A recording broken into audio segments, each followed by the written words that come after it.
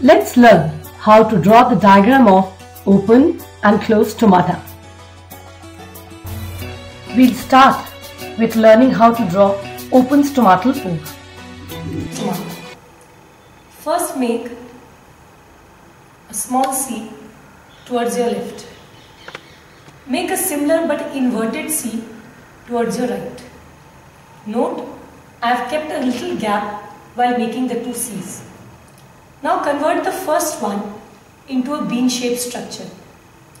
Just see, I have almost maintained this distance to be parallel.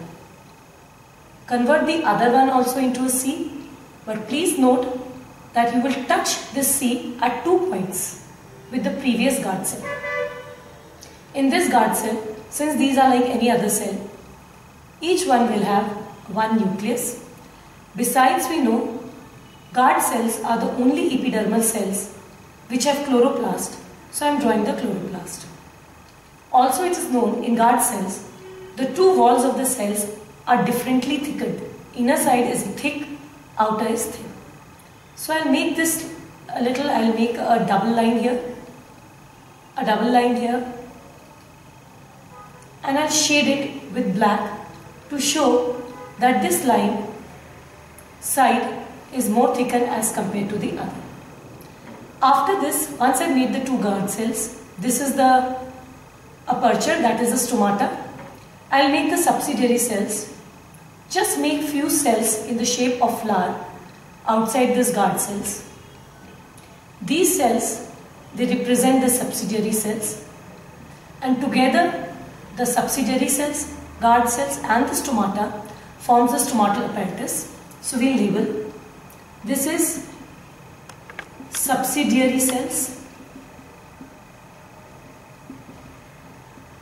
This is, these two are the guard cells.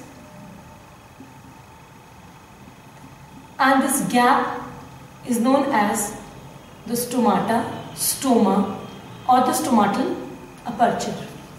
Together these three cells that is subsidiary cells guard cells and stomata, they form the stomatal apparatus or the stomatal complex as we call it. Besides, one more labeling that you need to know is that these cells which I told you are the chloroplast, you have to label it because these are guard cells are the only epidermal cells which have chloroplast.